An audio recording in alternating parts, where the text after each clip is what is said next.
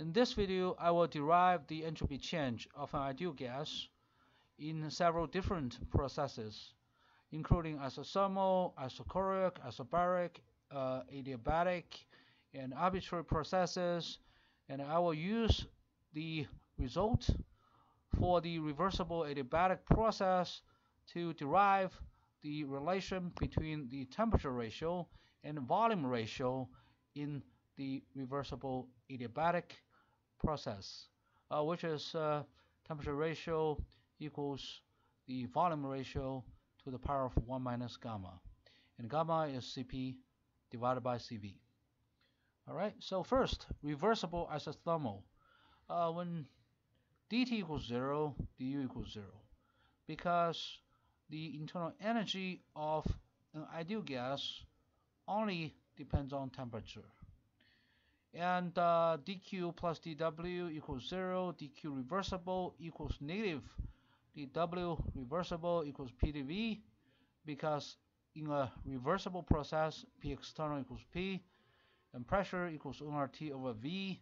We plug this in here and we get the integral of nr over v dv. The result is the entropy change equals nr logarithm v final over v initial for a reversible isothermal process. What about reversible isochoric? Isochoric means dv is 0, then dw is 0, dq reversible equals cv dt. The entropy change then is simply the integral of cv over t dt. That's cv times the logarithm of the temperature ratio. Isobaric is similar to isochoric. Uh, the only difference is dq reversible is equal to cp dt here. It's cv dt in an isochoric process, cp dt in the isobaric process. Uh, therefore, the derivation is similar. The entropy change is cp times the logarithm of the temperature ratio. Reversible adiabatic, dq reversible is 0, therefore there's no entropy change. How about just any reversible process from Pi VITI to Pf Vf Tf?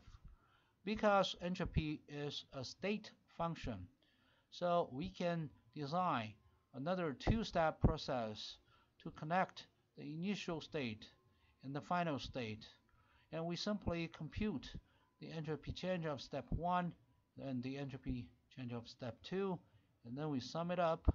That will give me the difference between the entropy of the final state and the entropy of the initial state. And that's the change of entropy. And again we can do this only because entropy is a state function.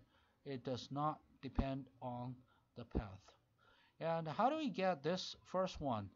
Uh, First step, volume is constant.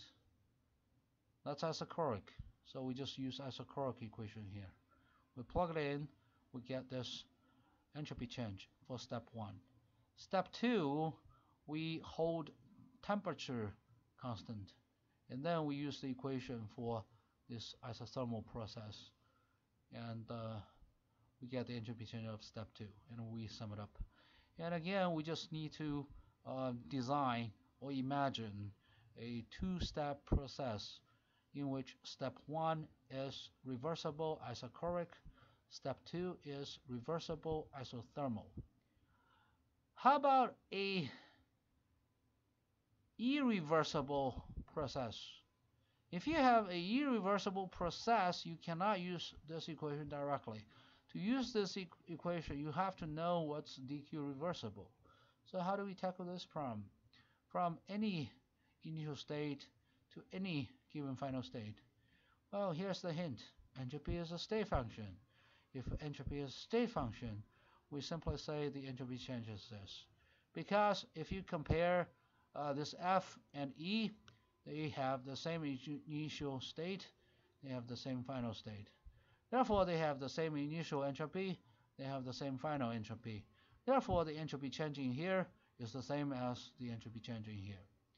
Now, finally, uh, I will prove this temperature ratio equals volume ratio to the power of 1 minus gamma for a reversible adiabatic process really quickly.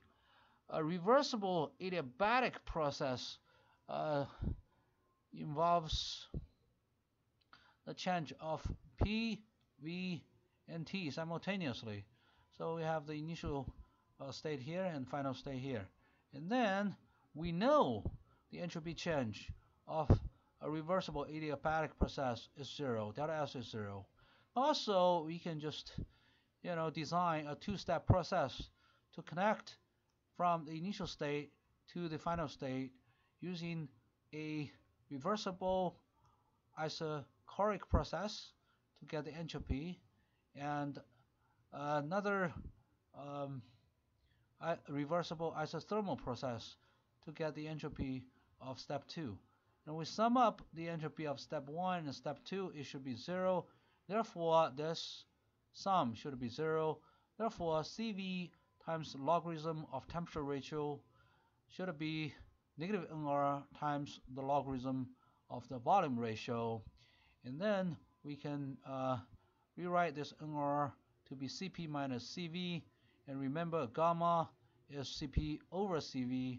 So in the end, we have this relation between the temperature ratio and volume ratio. Uh, the temperature ratio equals the volume ratio to the power of 1 minus gamma.